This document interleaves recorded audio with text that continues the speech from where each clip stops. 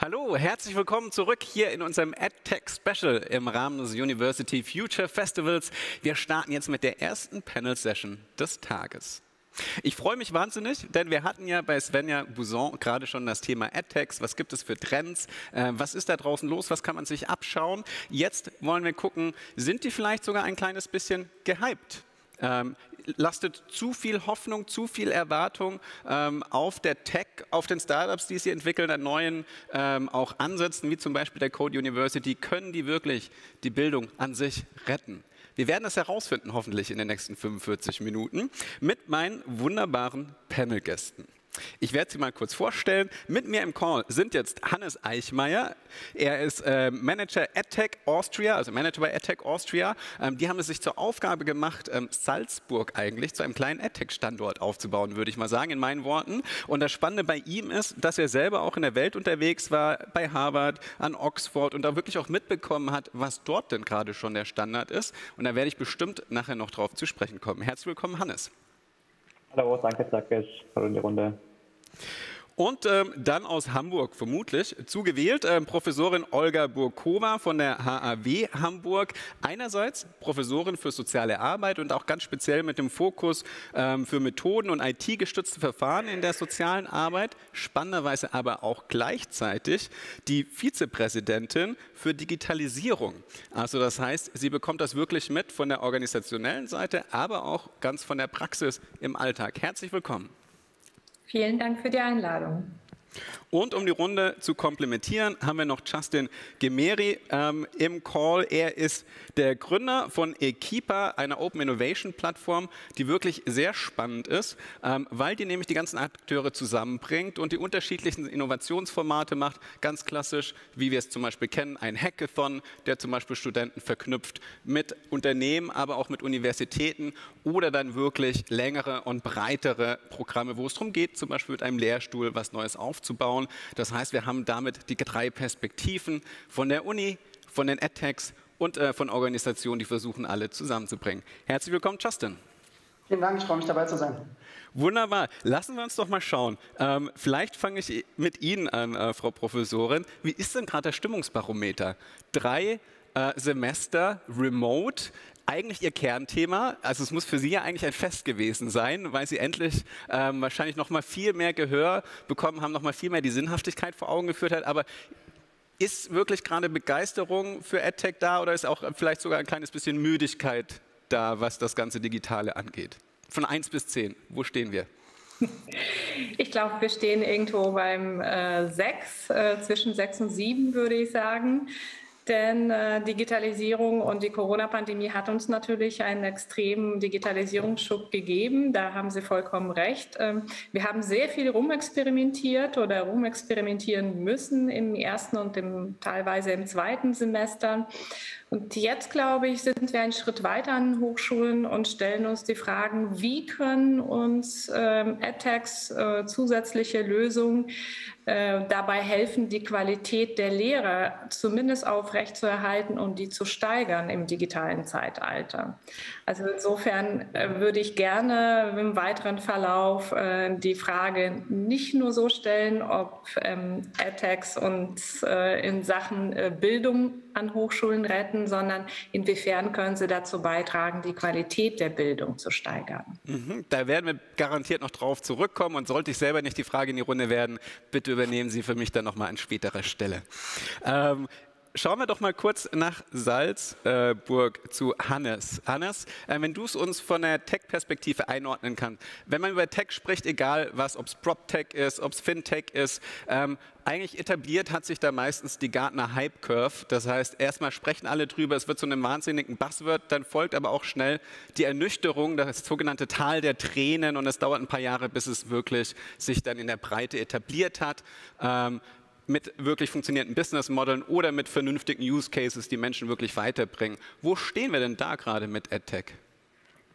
Also da sind wir definitiv noch in der Aufbruchsstimmung, würde ich sagen. Ähm, ich beobachte eigentlich, wie auch Frau Burkova schon gesagt hat, fast zwei unterschiedliche Tendenzen. Wir sind eher so ein bisschen auf der Seite von Studenten Universitäten, Hochschulen generell, auch zu Recht natürlich so ein bisschen ähm, dieses froh sein, jetzt wieder zurück zu sein, auch in der Präsenz stärker ähm, und nicht nur fürs Digitale angewiesen zu sein. Aber gerade bei EdTechs, bei den Startups, sind wir wirklich gepusht eben durch ähm, die vergangenen eineinhalb Jahre noch diese Aufbruchsstimmung, dass jetzt die Möglichkeit da ist, hier stärker auch Fuß zu fassen, eben speziell in dem Sektor, wo es davor schwierig war, nach wie vor natürlich schwierig ist, aber hier trotzdem große Chancen gesehen werden in den nächsten Jahren.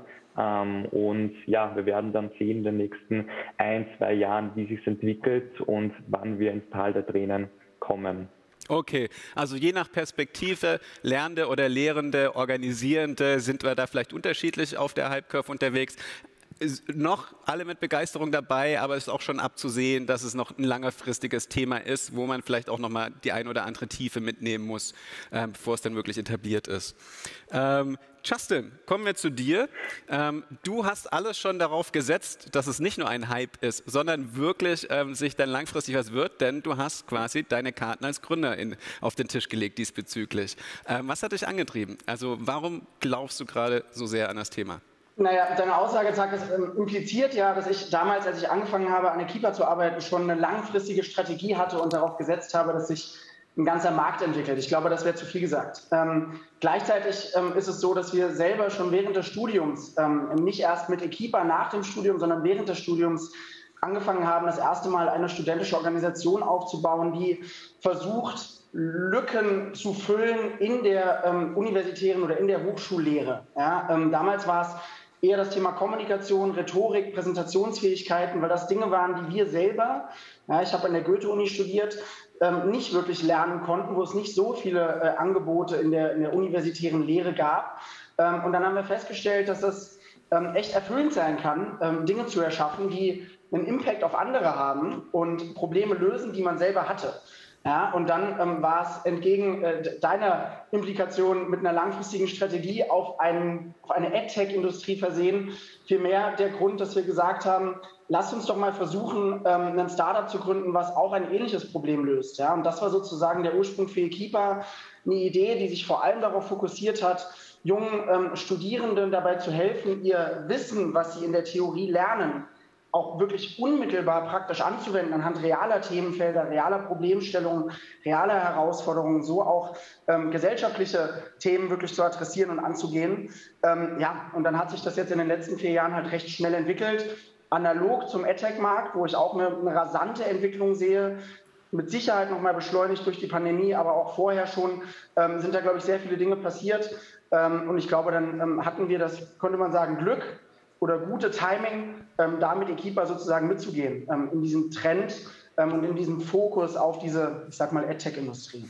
Also gutes Timing und der eigentliche Antrieb war das eine wunderbare klassische Gründerstory sozusagen, sein eigenes Problem lösen wollen und äh, zu schauen, ob es vielleicht auch noch andere betrifft und äh, man nicht der Einzige ist, der hier was bewegen will und sich quasi in den Ring geworfen, um hier auch wirklich noch Grundlagenarbeit zu machen.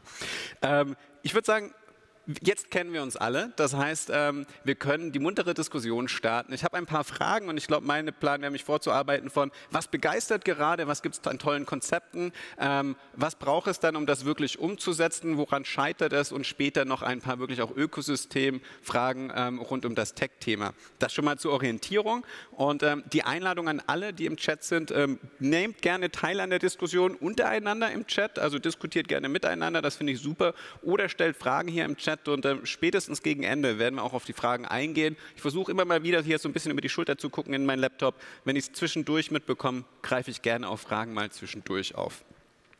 Ähm, ja, AdTech, lasst uns doch dem Ganzen mal wirklich ganz konkrete Namen geben und ähm, vielleicht ganz konkret, wenn es um AdTech geht, ähm, was begeistert Sie, was begeistert euch gerade an konkreten Beispielen? Ähm, Hannes, magst du mal ein oder zwei schon mal in, äh, in die Runde geben? Ja, auch klar, um so ein bisschen zu definieren, was AdTech wirklich ist, weil Buzzword äh, wird oft auf unterschiedlichste Arten verstanden. Ja. ja, was hier gerade begeistert oder im, im Dachraum schön funktioniert, zum Beispiel zum Beispiel Studo, die heute glaube ich auch hier sind und im AdTech Demo Day präsentieren. Ähm, das ist grundsätzlich eine Software, die sich an Studierende richtet und dort vor allem zum Beispiel einen Umstieg ähm, von der Sekundarstufe 2 nach dem Abitur ähm, in die Hochschule erleichtert, dort die Kommunikation zwischen Hochschule und Studierenden erleichtert. Das heißt, hier eben unterstützende Tools, um einfach die Kommunikation zwischen Universität und Studierenden zu vereinfachen und generell ähm, die Struktur besser darzustellen für die Studierenden. Das sind so die Lösungen, die hierzulande einfach gerade fruchten, die gut funktionieren ähm, und die schon langsam eingeführt werden. In welche Richtung es auch geht, sind diverse Startups im Virtual Reality, Augmented Reality Bereich. Dort gibt es spannende Lösungen gerade für technische Studiengänge.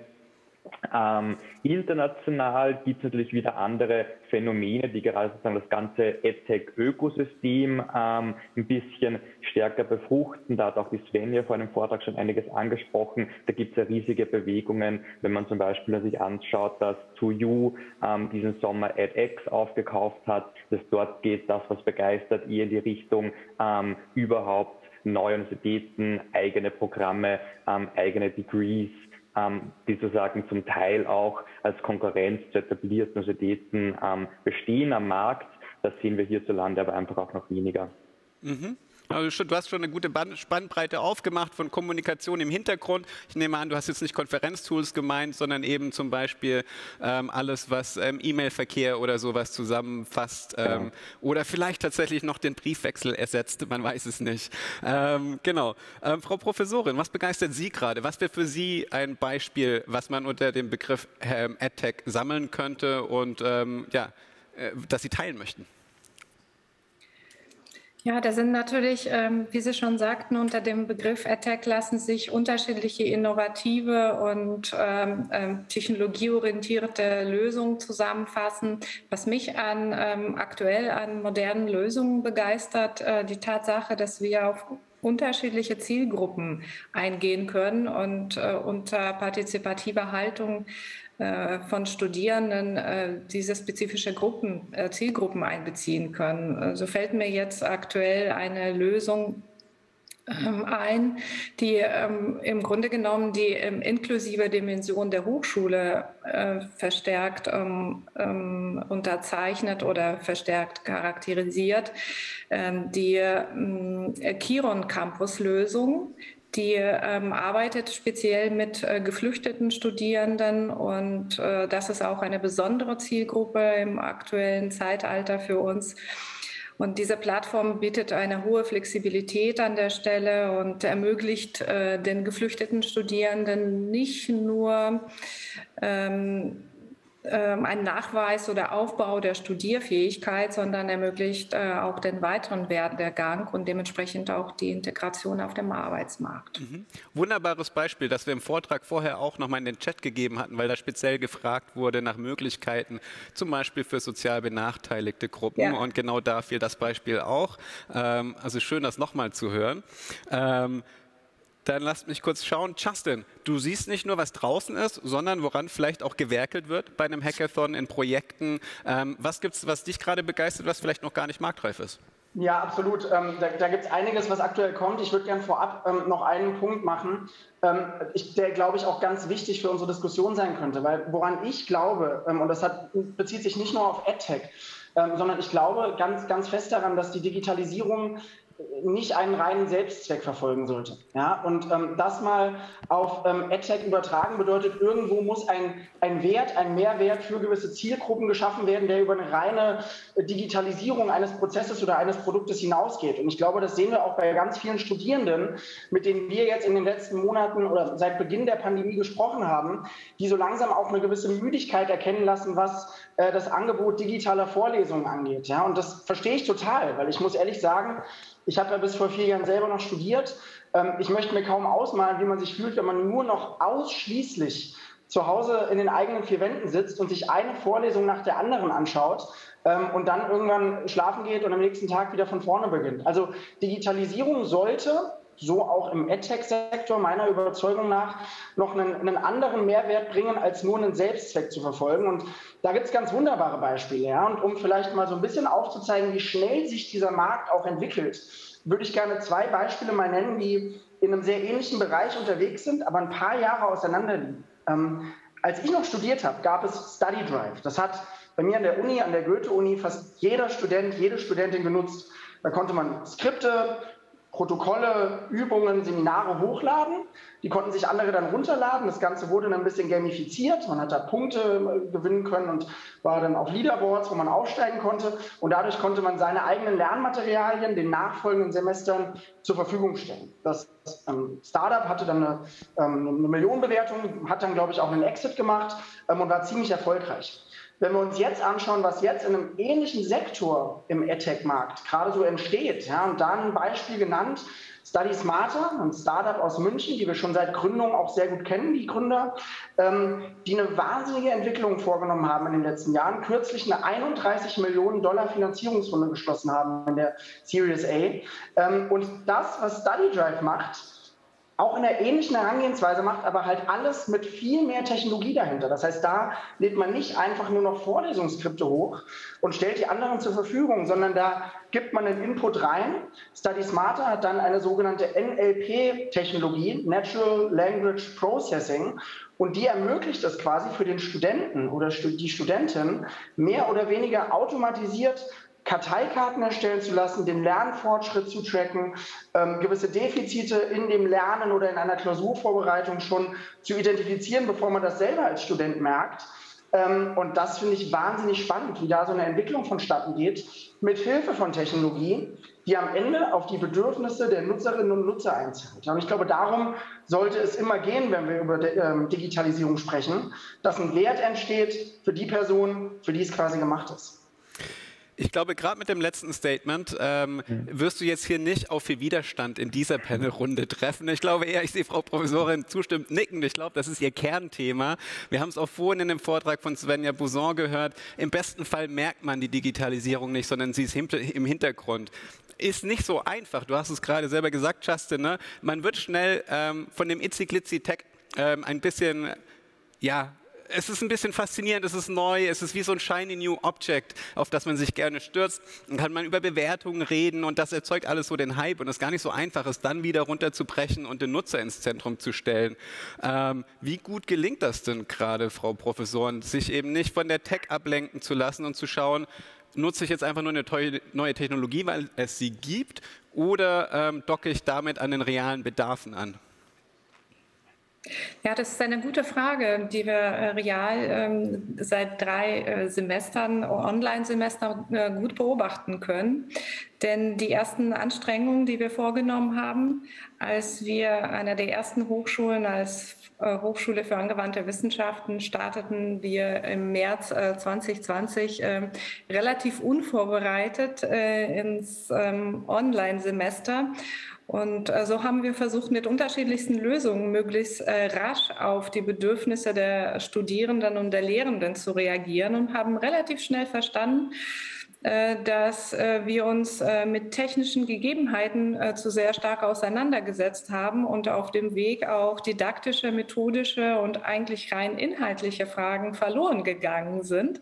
Das versuchen wir jetzt aktuell massivst nachzuholen und deshalb plädiere ich für eine fokussierte Fragestellung, wie können uns Tags an der Stelle helfen, tatsächlich äh, eine entsprechende Didaktik und Methodik zu unterstützen und zunächst äh, die äh, Was-Frage zu unterstützen. Wie vermitteln wir unser, was vermitteln wir an Inhalten? Und insofern bin ich absolut bei meinem Vorrednern. Sie haben es richtig erkannt. Es ist genau mein Thema. Digitalisierung ist kein Zweck an der, kein Selbstzweck an der Stelle ähm, sondern äh, vielmehr müssen wir uns die Frage beantworten, warum nutze ich dann entsprechende Werkzeuge? Wie bringt mich das äh, nach vorne als Organisation oder als Organisation in meinem Bildungsauftrag? Und genau diese Fragen sind bei uns ähm, in unserer Digitalisierungsstrategie verankert. Denn dort verbinden wir ganz äh, deutlich zwei Aspekte, was und wie. Und äh, wie ist es natürlich hier an der Stelle primär. Aber ich bin absolut davon überzeugt, äh, dass in einer weiteren engen Zusammenarbeit zwischen Hochschulen und Start-ups wir tatsächlich sehr viele Potenziale nutzen können und müssen, um äh, den Bildungsauftrag äh, oder dem Bildungsauftrag nachzugehen und die Qualität der Bildung zu sichern. Wie sieht das konkret aus? Also ich habe gerade mal parallel in den Chat geguckt. Ähm, da stand so der Kommentar, ja, der Mehrwert, ähm, da ist ja wieder das Schlagwort. Ähm, Digitalisierung muss einen Mehrwert bieten. Äh, wo, in welchem Zeitalter leben wir denn? Es ist, glaube ich, halt immer noch relevant. Ähm, aber woran macht sich das ganz konkret fest? Also wo ist da gerade der Stand dann wirklich in der Arbeit? Ähm, Hannes zum Beispiel. Also warum reden wir immer noch darüber? Ja, ja ähm, gute Frage. Warum reden wir noch darüber? Ich glaube, das ist eben jetzt auch im, im, Chat kam immer wieder so ein Schlagwort. Was wir jetzt eben da auch sehen, ist, glaube ich, deswegen, es, es ist die Frage des Mehrwerts stellt sich weniger in diesen klassischen Infrastrukturfragen. Deswegen habe ich auch vorhin das Beispiel Studo aufgebracht, die eben ganz, ganz einfach dieses Studenten-Onboarding, Kommunikation mit Studierenden ermöglichen. Das sehen wir im Hochschulbereich, aber auch im Schulbereich ganz stark. Diese klassischen Infrastrukturthemen decken wir ab und diese Mehrwertfrage stellen wir eben immer wieder, wenn es tatsächlich dann um den Content, um die Inhalte, um das Wie des Vermittlens Vermittelns geht. Ähm, und ich glaube, man, man, natürlich muss ein Mehrwert da sein, aber ich glaube, man kann die Frage etwas in den Hintergrund rücken und muss stärker auch fokussieren auf das Thema, wie schaut die Kooperation eigentlich aus und wie kann ich hier gemeinsam dann einen entsprechenden Mehrwert schaffen. Weil das Spannende ist ja auch an den Beispielen, die wir jetzt gesehen haben, zum Beispiel Study Smarter, sehr erfolgreich, aber adressiert eigentlich nicht Hochschulen an sich, sondern adressiert den Endkunden, das heißt die Studierenden und erzielt darüber ihre Umsätze. Andere Beispiel wie vorhin Code University ist wiederum ein eigener neuer Akteur, der Prozesse generell anders denkt. Das heißt, die Frage ist ja, wie bringen wir wirklich etablierte Hochschulen und EdTech-Unternehmen, EdTech-Startups zusammen und hier in ko-kreativen Prozessen, in einzelnen Projekten, wo ich mir dann spezifische zum Beispiel ähm, Fächergruppen etc. anschaue, kann ich dann auch hier ganz konkret überlegen, wie liefere ich hier tatsächlich Mehrwert dann für die einzelnen Studierenden. Aber ich glaube, das muss man eben gemeinschaftlich denken, den Prozess an sich,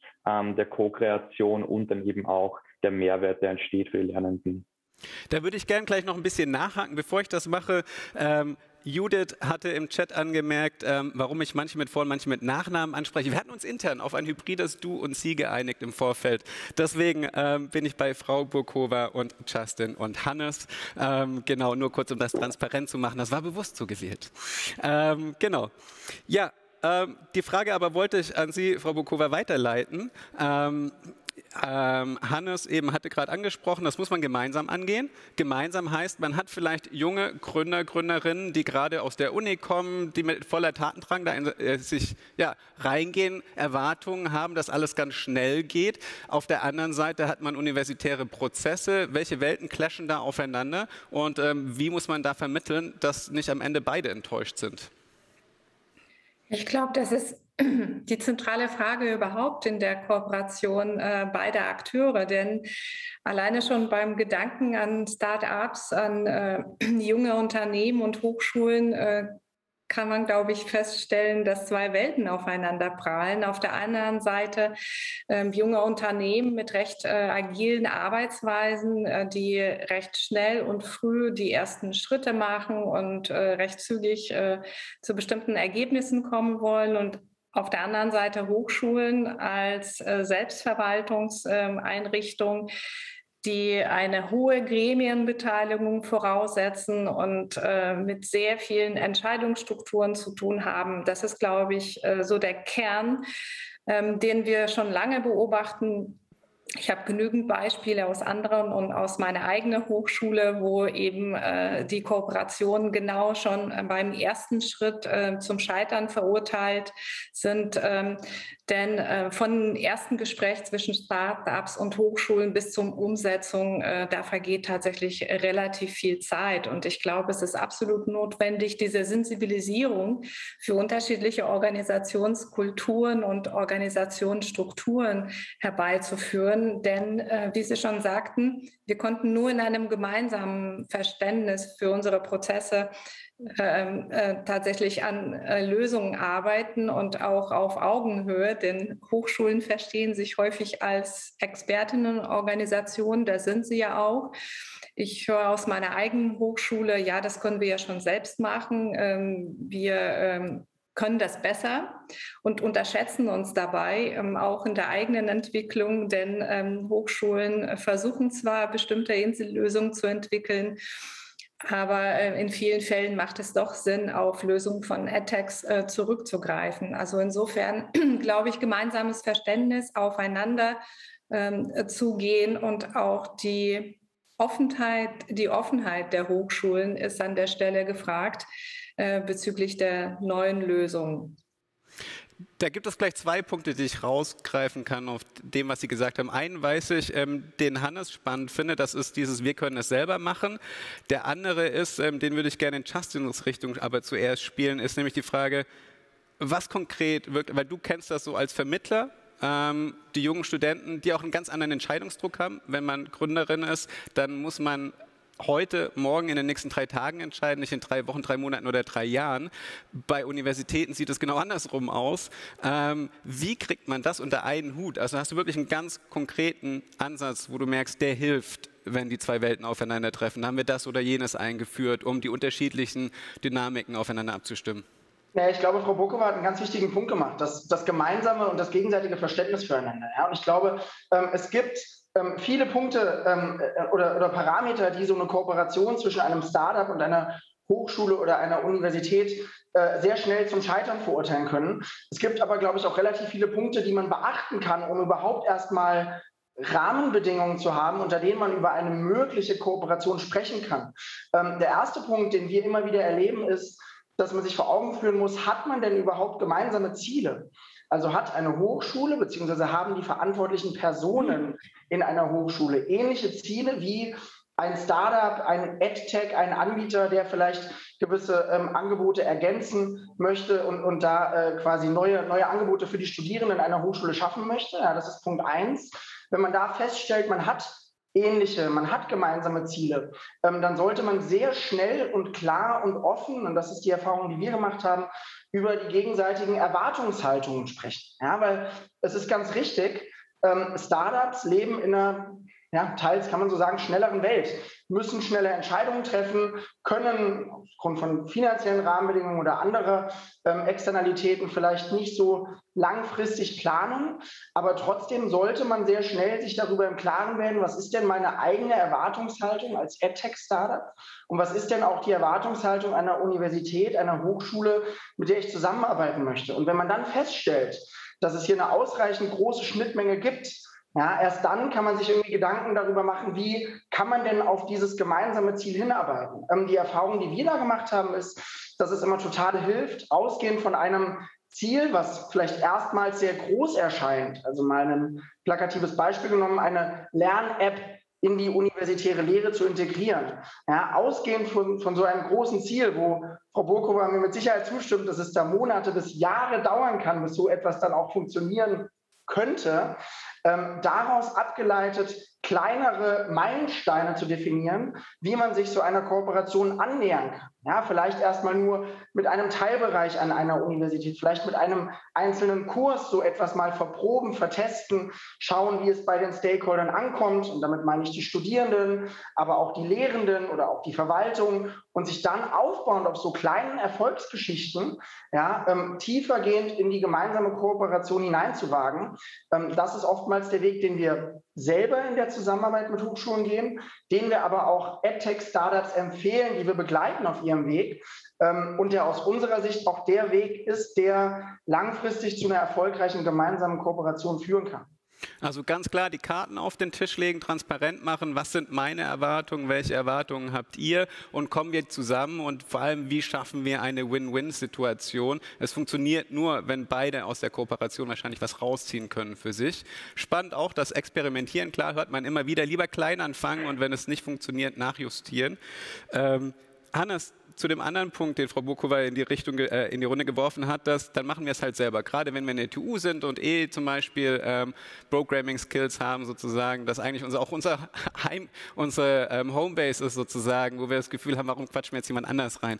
Ähm, Vor- und Nachteile davon, das vielleicht als TU zum Beispiel selber anzugehen oder vielleicht dann doch lieber auf ein Startup zurückzugreifen. Was siehst du da? Wann geht es schief und wann läuft es gut? Mhm.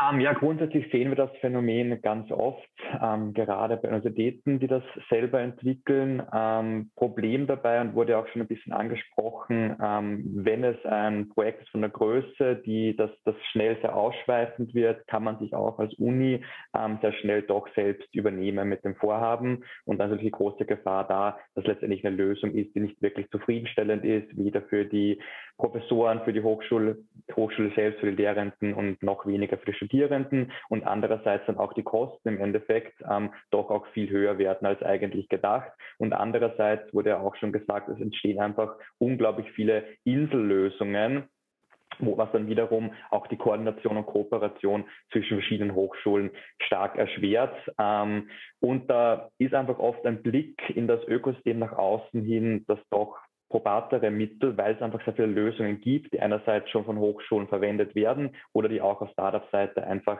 da sind und einfach angeschafft werden können. Ähm, ich sehe da auch, muss ich ehrlich gestehen, gar nicht so viele Vorteile, die ich jetzt benennen könnte von einer ähm, Eigenentwicklung einer Hochschule, weil es auch sehr viele White-Label-Lösungen da draußen gibt, die grundsätzlich sehr flexibel angepasst werden können oft auch adaptiert eben werden für den speziellen Use Case natürlich. Ähm, von dem her ja, würde ich zuerst immer den Blick nach außen empfehlen für eine Hochschule und da müsste schon ein spezieller Case sein, den ich jetzt gar nicht benennen könnte, wo ich wirklich sagen würde, ja, go for it, macht eine Eigenentwicklung. Ähm, ansonsten empfehle ich da sehr stark ähm, auf Vorhandenes zurückzugreifen und da sich nicht selber in ein riesen zusätzliches Projekt zu stürzen, dass man sich parallel aufmacht, gerade wenn man oft noch mit in Betracht zieht, wie klein eigentlich die IT-Abteilungen, die Infrastruktur auf der Seite auf Uni- oder Hochschulebene ist, die oft nur aus wenigen Personen besteht, ähm, dann übernimmt man sich mit solchen Projekten einfach. Also klar, ich glaube, der Punkt mit den Ökosystemen, ja. sag es, wenn du kurz erlaubst, da würde ich gerne auch noch kurz drauf eingehen, weil ich glaube, der, der Punkt ist super entscheidend und super wichtig. Ähm, der Blick nach außen und der Blick in Ökosysteme und in das, was da draußen schon vorhanden ist. Ähm, Sprich, auch die Vernetzung zwischen den Hochschulen und Universitäten ist auch etwas, was wir immer wieder erleben, was super hilfreich sein kann. Ja, wenn wir beispielsweise ähm, Challenges und Projekte von uns in die universitäre Lehre einbinden, dann sprechen wir oft auch mit Lehrstühlen darüber, hey, ähm, sind Sie nicht auch vernetzt an andere Hochschulen, ähnliche Lehrstühle mit ähnlichen Themen, wo wir sowas auch mal ausprobieren könnten?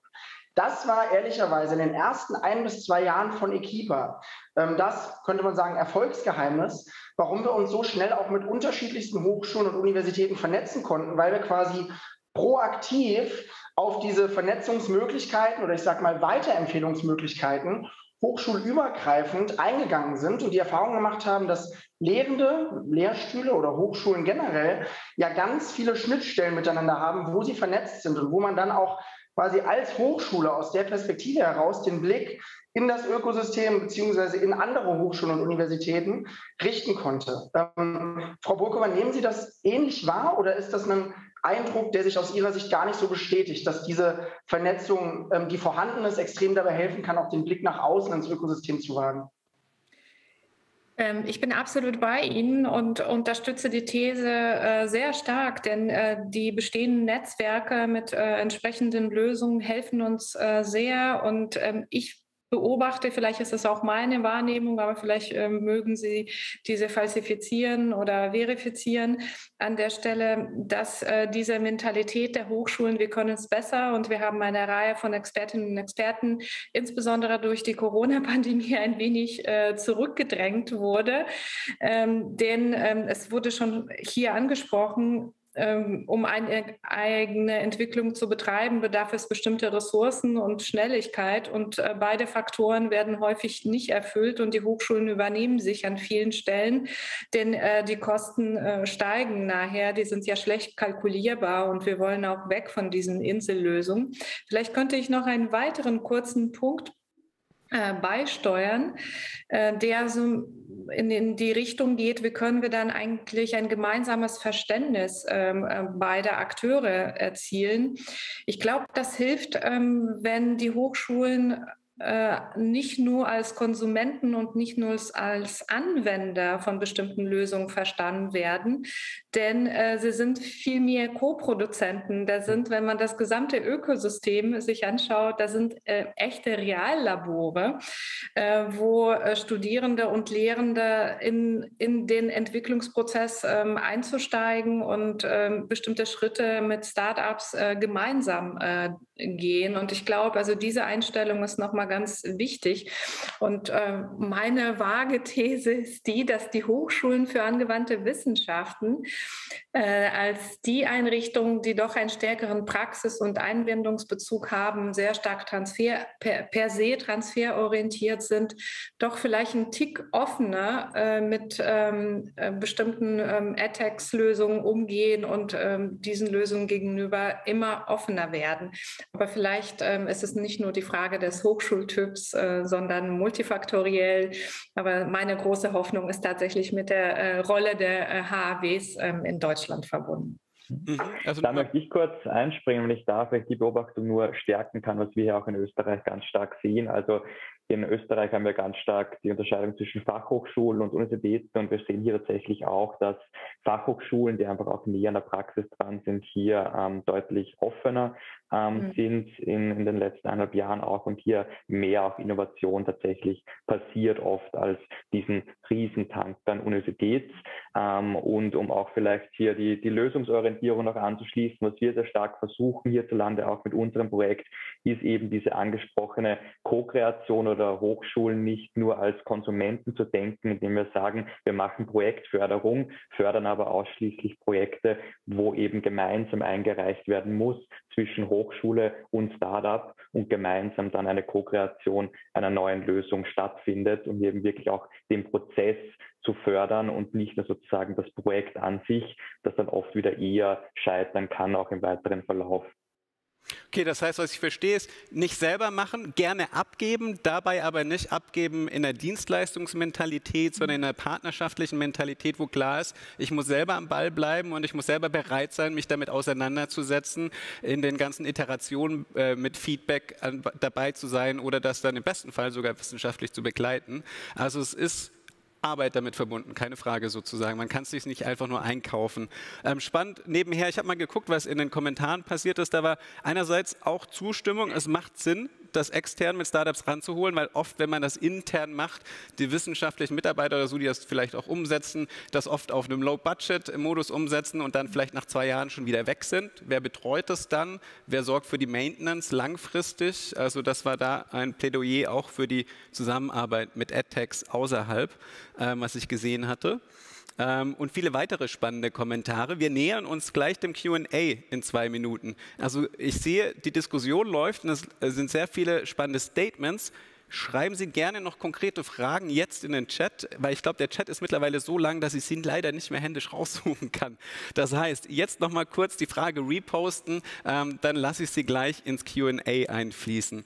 Ähm, haben wir schon genügend geklärt, wie dann wirklich die Qualität entsteht, um ähm, zu dem Anfangsstatement von Ihnen zu kommen, Frau Burkova.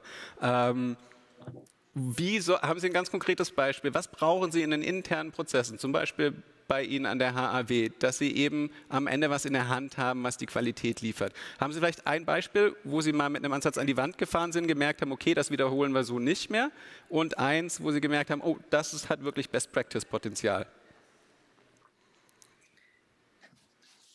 Ja, äh, wir haben einen sehr ganzheitlichen Ansatz an der HW Hamburg mit unserer Digitalisierungsstrategie. Das heißt, wir wollen einerseits ähm, die internen Prozesse äh, optimieren und digitalisieren. Das betrifft äh, natürlich Verwaltungsprozesse, das betrifft natürlich unsere klassische IT-Infrastruktur, bestimmte Prozesse zur Unterstützung von Studium und Lehre. Aber wir wollen natürlich ähm, zwei ähm, weitere Gestaltungsfelder bedienen. Und ähm, das sind ähm, äh, Gestaltungsfelder an der Schnittstelle zur Öffentlichkeit, äh, Dialog mit und für die Öffentlichkeit. Und ähm, das waren tatsächlich meine Herzensangelegenheiten. Als Sozialwissenschaftlerin denke ich mir, das ist extrem wichtig, äh, die Vernetzung voranzutreiben in Fragen Digitalisierung, den Dialog mit der Öffentlichkeit zu führen.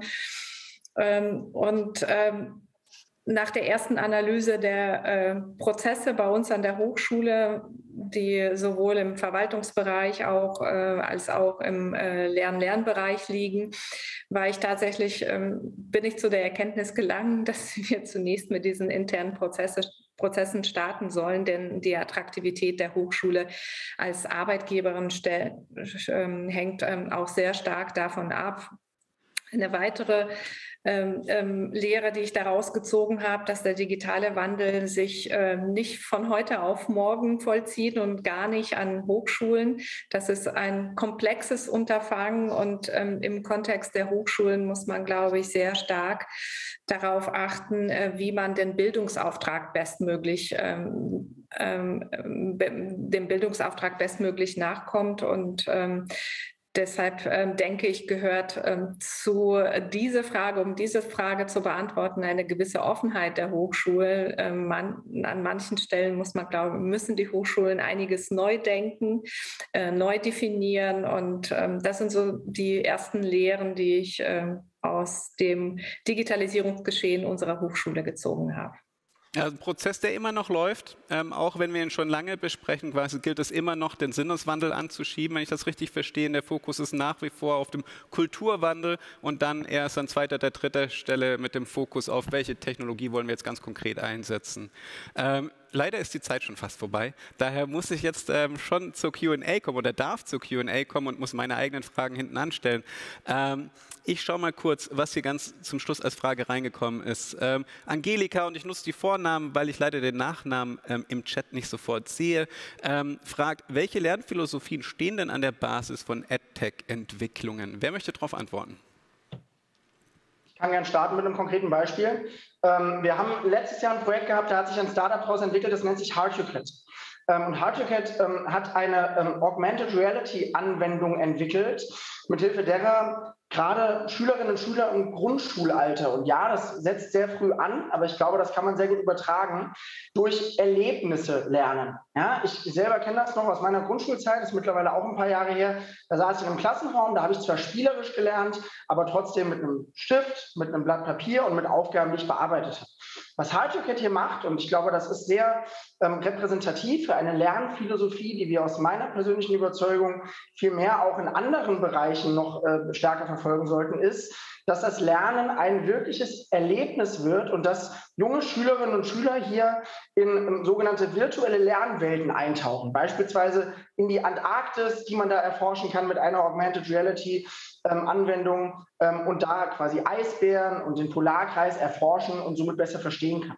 Ich glaube, wenn wir das jetzt auf die Hochschullehre übertragen, dann sollte man nicht herzugespitzt formulieren, den Studierenden eine Augmented Reality Brille aufsetzen und sagen, schaut mal, hier ist die Arktis. Ähm, aber was ich gerne loswerden möchte und den Punkt, den ich machen möchte, kann man damit, glaube ich, ganz gut übertragen, dass das Lernen und somit auch das Lehren auf der anderen Seite deutlich anwendungsorientierter sein sollte. Das sehen wir auch in dem, was wir mit Equipa ja ganz vielen Studierenden mittlerweile anbieten, sodass der Input, den man bekommt, der ja auch zwingend notwendig ist, um Dinge zu erlernen, unmittelbar auch angewandt werden kann und somit verinnerlicht werden kann. Das klingt nach einer recht platten Philosophie, ist aber zumindest nach meiner Erfahrung an der Uni, wo ich studiert habe, etwas, was noch nicht wirklich in der Breite so gelebt wird, was aber ganz viele Studierenden sich auch wünschen. Mhm. Ähm, Wenn es noch ein begleitendes Statement gibt, äh, Frau Burkova oder Hannes, dann gerne. Ansonsten hätte ich noch eine weitere Frage. Ja, ich kann nur kurz ergänzen, wen es interessiert. Also ganz sehr viele, glaube ich, gehen da zurück eigentlich auf den Konstruktionismus von Seymour Pepperts, ähm, der das sehr spannend publiziert hat dazu und ähnlich wie der Justin das gerade beschrieben hat, also sehr erfahrungsbasiertes Lernen. Ähm, aber Pepperts war einer der ersten Vertreter, der EdTech bis heute sehr stark geprägt hat, obwohl er in den 60er Jahren am aktivsten war. Ähm, genau, da kann man sich ein bisschen dazu einlesen, was sehr viele in dem Bereich verfolgen. Mhm. Ich muss mal schauen, ob ich auf die Stelle nochmal das Statement finde. Ähm, Philipp hatte einen wunderbaren Beitrag äh, beigesteuert.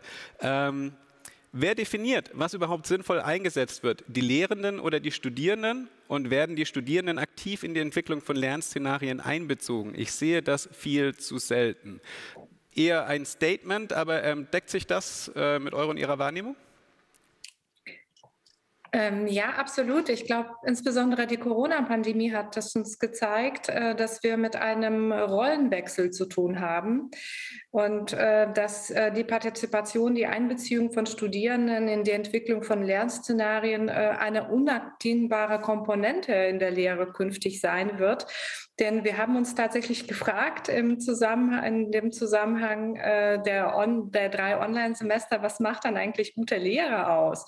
Und dann haben wir festgestellt, ähm, es ist äh, nicht der klassische ähm, äh, Ver Vermittlungsvortrag, Wissensvermittlungsvortrag, der da einfach ins Digitale übertragen wird. Es bedarf ähm, ähm eine es, es, darf ja auch äh, kein äh, Konkurrenzkampf zwischen Digitalität und Analogen passieren, sondern wir müssen, äh, um an diesem Begriff nochmal Qualität der Lehre festzuhalten, uns überlegen, wie können wir die aktuelle präsentische Lehre mit digitalen Formaten so anreichern, dass wir eine hohe Qualität liefern. Und da glaube ich, äh, müssen zwingenderweise unsere Studierenden eine viel stärkere, viel dominantere, im positiven Sinne dominantere andere partizipative Rolle erhalten. Philipp hat noch ergänzt, seiner Meinung nach sind Studis häufig leider sehr rückständig. Ähm, ein Statement, was mich wundert, weil man denkt, das ist die digitale Generation, die eigentlich mit den Tools aufgewachsen ist. Spannend wäre zu hören, was er konkret damit meint. Ähm, er hat das noch nicht geschrieben, aber ähm, dann würde ich das mal in deine Richtung spielen, Justin, weil wortwörtlich quasi mit Equipa versteht ihr euch ja als sozusagen die Plattform der digitalen Generation für die digitale Generation. Ähm, wo sind denn die Studis noch rückständig? Ähm, das ist eine gute Frage. Ähm, ich glaube, dass ähm, eine Rückständigkeit vielleicht dadurch entstehen kann, dass man, wenn man sich jetzt anschaut, wofür man das alles macht in der Universität und wofür man lernt, und wofür man eine Universität besucht, ist ja dann irgendwann auch darum geht, das anzuwenden. Und der Vorwurf, der oft entsteht und den wir auch häufig sehen, ist, dass ähm, gerade die jungen Menschen, diese digitale Generation, von der wir auch als Equipa immer wieder sprechen, dass denen vorgeworfen wird, naja, die haben überhaupt keine Erfahrung. Die wissen überhaupt nicht, wie man irgendwie digitale Lösungen beispielsweise auch entwickelt oder wie man ein AdTech-Startup gründet. Das ist oft der Vorwurf, der gemacht wird von Unternehmen, teilweise irgendwie vielleicht auch aus der Gesellschaft, auch von politischen Stakeholdern hören wir das ab und zu mal wieder.